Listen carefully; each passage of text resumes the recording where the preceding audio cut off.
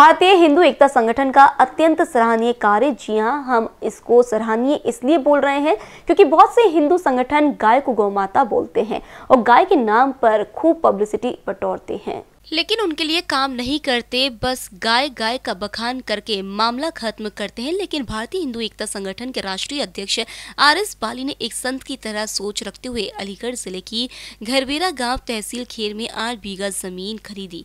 आपको बता दें कि यह ज़मीन गौशाला निर्माण के लिए खरीदी है, जिसका कार्य शुरू होने वाला है।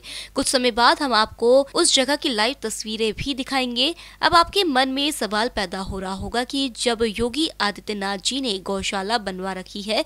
तो इनको क्या ज़रूरत है? तो हम आपको बता दें कि आर एस बाली जी का कहना है कि हमें सिर्फ़ और सिर्फ़ सरकार के भरोसे नहीं बैठना चाहिए।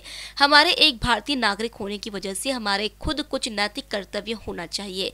अगर सब लोग थोड़ा थोड़ा करेंगे तो एक बार फिर हमारा भारत सोने की चिड़िया बन सकता है। ये बात अलग है कि उत्तर प्रदेश की सरकार भी गाय की रक्षा के लिए कदम उठाती है। आर एस बाली ने पहले अलीगढ़ के टम्पल गाँव में बहत्तर फुट के मंदिर का निर्माण कराया। उसके बाद उन्होंने महिलाओं को सिलाई सिखाने के लिए एक प्लॉट खरीदा, जिसकी तस्वीरें हमारे चैनल ने आपको पहले ही दिखाई है, जिस पर कार्य चल रहा है और अब गौशाला का कार्य शुरू होने वाला है।